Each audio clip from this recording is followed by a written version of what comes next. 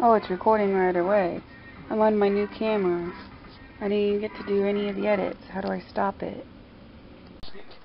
Testing, testing, testing.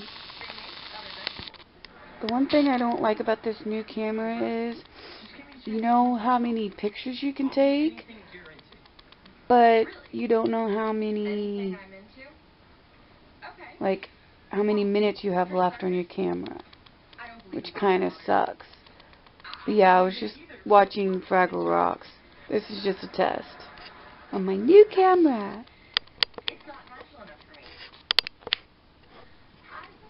I gotta remember that the movie turn off and on is at the back of the camera, not the front of the camera. Still trying to figure out how the um, camera works with darkness and lightness and brightness and how to turn off that damn noise in the back. But uh, when I vlog like this, I gotta remember to keep my finger on that little button that's on the back. They should have kept it on the front and kept it like this one is with um, this little thing that goes back and forth, back and forth. The only thing that sucks is it doesn't have panoramic on here. So I'll still have to carry this around for when I go to my grandpa's and stuff to do panoramic video uh, pictures. The reason why I don't I can't use this one anymore is because when I go to check out my videos and my pictures, it tells me it, it it's blacked out. I can't see my work.